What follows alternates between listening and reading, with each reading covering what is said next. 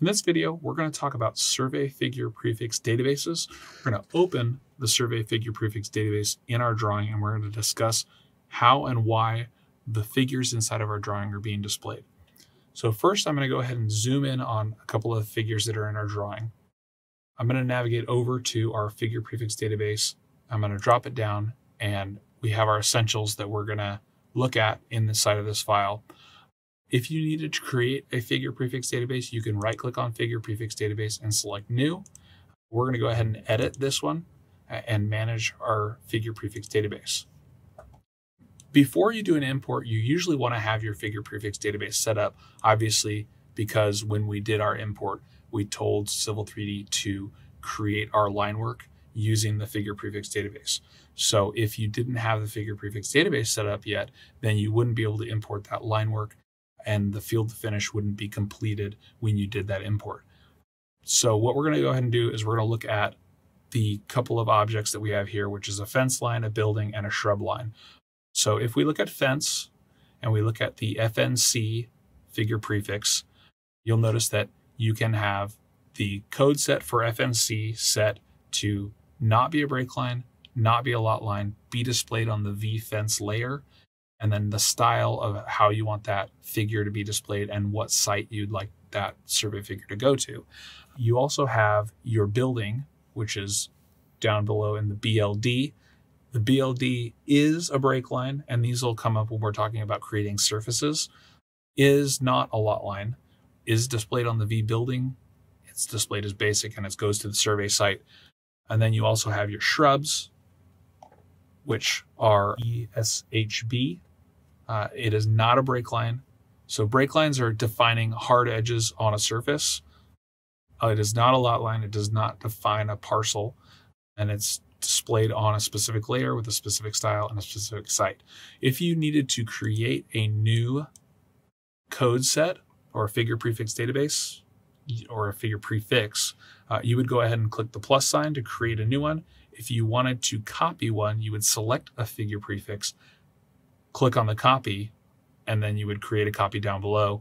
And if you wanted to delete some that you had already created that you didn't need anymore, you could click the delete option. So I'm going to go ahead and click cancel because I don't want to change any of my figure prefix database information.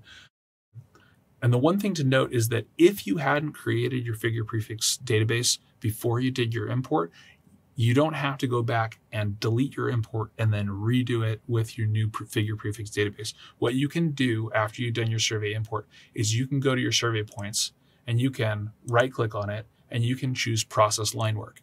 And inside of process line work, you can choose your figure prefix database and you can tell Civil 3D to either process the line work and insert your figures, or you can tell it to just process the line work and do no insertions. If you chose to say no to the insertion of the figures, then if you wanted to then later import those figures into the drawing, you could go to your figures inside of your survey database and you could right click and choose to insert your figures into drawings. So just because you've done a import does not mean that you're locked in on all of your survey information.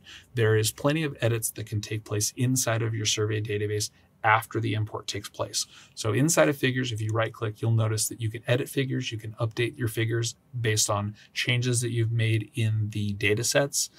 You can create new break lines. You can create figures interactively. You can create figures from objects. So you can draw in a polyline and then create a figure from that polyline.